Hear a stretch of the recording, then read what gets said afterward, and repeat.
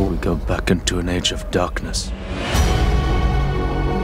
Welcome back to my channel This Love. I hope you are fine. Today I explain the Last Kingdom movie. Seven Kings Must Die trailer 2023 The Last Kingdom is an epic historical drama series that has been immensely popular among viewers since its premiere in 2015. The show is based on the Saxon Stories novels by Bernard Cornwell and is set in the 9th century AD when England was divided into several small kingdoms, constantly at war with each other. The series follows the story of Uhtred of Bebbanburg, a Saxon who is captured and raised by the Danes, and his quest to reclaim his ancestral lands and unite the kingdoms of England. Now, after six successful seasons, the Last Kingdom is set to make the transition to the big screen with its first movie installment, Seven Kings Must Die, which is scheduled to release in 2023. The recently released trailer gives fans a glimpse of what to expect from this highly anticipated movie. The trailer begins with a voiceover from Uhtred, played by Alexander Dreymon, who sets the tone for the upcoming conflict. He speaks of the rising tension between the various kingdoms of England and the need for a leader who can unite them all. He asserts that seven kings must die for this to happen, and he is willing to make the necessary sacrifices to bring about a lasting peace. The trailer then introduces us to some of the key players in the upcoming conflict, including Sinet, played by Mads Mikkelsen, a powerful Danish warlord who seeks to conquer England, and Ethelhelm, played by Mark Gatiss, a treacherous Saxon noble who seeks to maintain the status quo. The trailer is filled with epic battle scenes, intense drama, and moments of heart-wrenching emotion, all set against the stunning backdrop of medieval England. It promises to be a fitting conclusion to the series and a perfect send-off for one of the most beloved characters in modern literature.